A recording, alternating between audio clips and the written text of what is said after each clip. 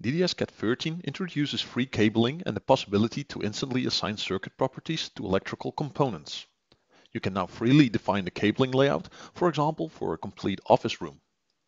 Once the cable plan for a room is finished, you can assign circuit properties from one of the available circuits in the distribution board.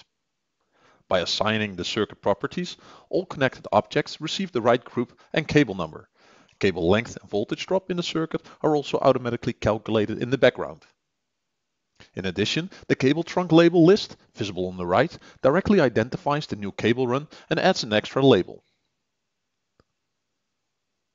More importantly, by combining these new features, it allows you to copy through a complete electrical layout from one room to the other. The only thing that remains is assigning the right circuit group number to the copied objects. This is a significant time saver when it concerns a project with lots of repetitive rooms such as offices, hotels and hospitals.